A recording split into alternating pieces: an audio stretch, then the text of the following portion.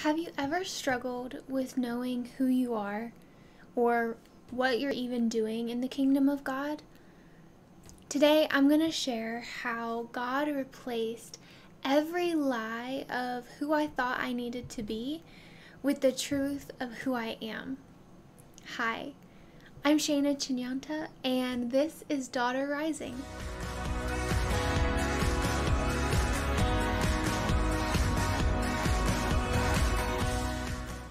A little backstory about me. I was born and raised in a small town in South Carolina. And growing up, I always knew deep down inside that there was more than what I was seeing around me. I couldn't quite put my finger on it, but being one of those girls that grew up, got married, and had kids, was not really in the plans. I remember consistently asking the Father to reveal who He was and to reveal His truth to me because I had felt like most of my life growing up He was misrepresented. So I was so hungry to get to know who He actually was. After asking and asking and searching, um, I started going to a different church uh, where I started leading worship. And then I started moving in circles that were different than anything I had known before. The people were different than any people I had known before. They walked in power and authority that I had never seen before.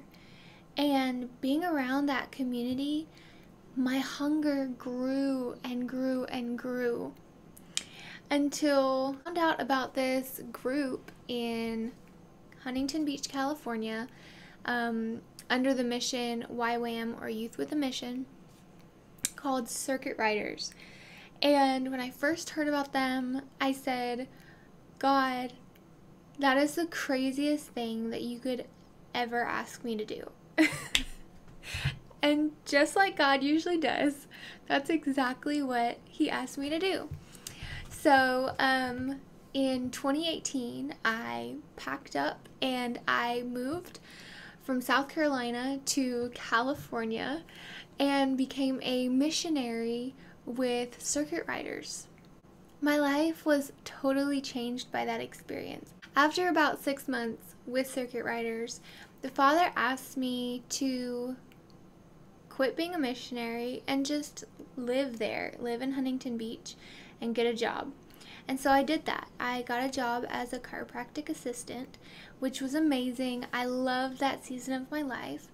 And then, as most or some young single girls do, I started dating someone, and that someone turned out to be my incredible husband, Cass. We dated for seven months before getting married, and shortly after we got married, we realized that if we wanted to live together and ever see each other and not work all the time, um, maybe we should think about moving. And when we looked at rental prices in uh, my hometown versus Huntington Beach, it was kind of a no brainer for us. So we packed up my Nissan Sentra and we moved across the country to South Carolina. At first, living in South Carolina was so peaceful and a much needed respite after the crazy pace of California. Soon, though, I began to feel like I wasn't doing anything. And I began to ask myself, what is my purpose? Like, what am I even doing? And I was so in that mindset of self pity that I wasn't even listening to God for an answer. And then I became a mom, and that was incredible and is incredible and I love my precious daughter. And I threw myself into being a housewife and a mom. And those thoughts kind of went to the back burner of my very full mind for a little while at least. Soon, though, those thoughts were back, and honestly, I didn't even recognize myself in the mirror. I was like, whoa, like so quickly I became a wife and a mom and a housewife and I'm not working and I'm not a missionary and who am I? I I didn't know who I was. I didn't know what I was doing with my life. Um and it and it wasn't like I was bored or I was unhappy with my circumstances cuz I wasn't. I love being a wife and I love being a mom. I just didn't know how my old self fit into this new narrative. You know what I mean? So I went back to the place where I had always felt safe mom or pre mom, married or single. I always felt safe in my Heavenly Father's arms. And He told me something that I knew, but I didn't really know. He said, Shana, who made you feel like you were only worth something when you were accomplishing something?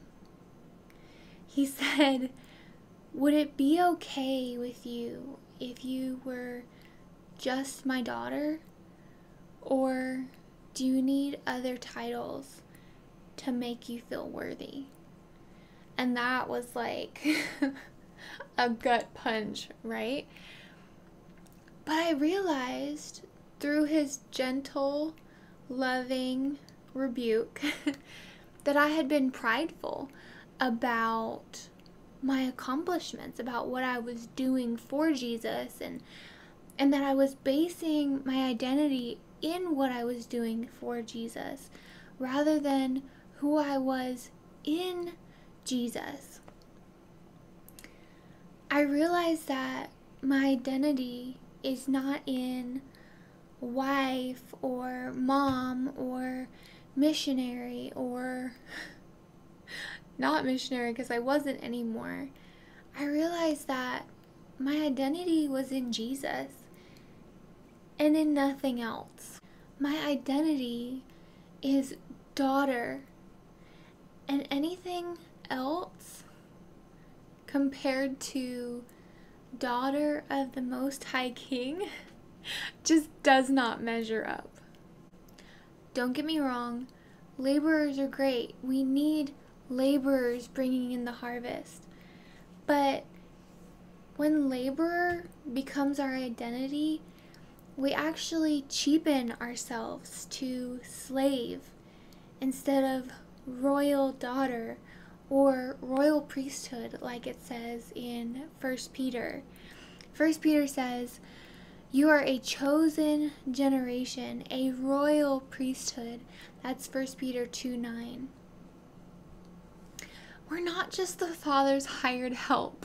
We're not just laborers. We are His daughters and sons for any of those guys out there that are still with us. Thank you for being here.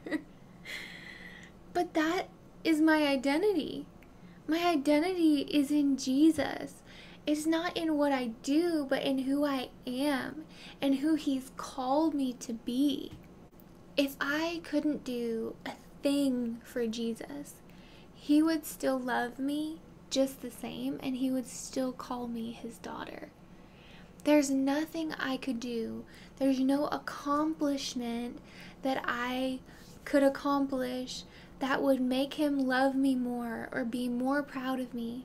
And there's no sin or anything I could do that would make him love me less. He doesn't love me because of what I do, he loves me because of who I am.